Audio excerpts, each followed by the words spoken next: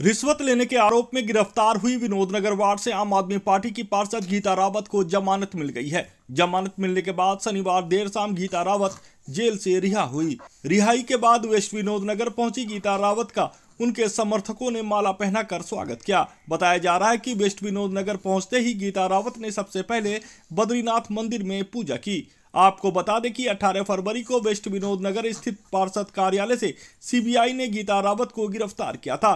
गीता रावत की गिरफ्तारी के बाद सीबीआई ने बयान जारी कर बताया था कि गीता रावत ने एक मकान के निर्माण कार्य को कराने की एवज में क्षेत्र के एक शख्स से बीस हज़ार की रिश्वत मांगी थी। रिश्वत का ये पैसा इलाके के मूंगफली का कारोबार करने वाले युवक के माध्यम से गीता रावत के पास पहुँचा था। इस दौरान गीता रावत को सीबीआई की टीम ने रंगे हाथ गिरफ़्तार कर लिया।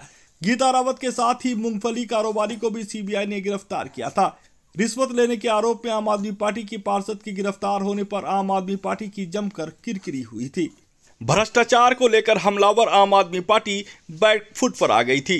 भारतीय जनता पार्टी और कांग्रेस ने आम आदमी पार्टी को आड़े हाथ लिया था।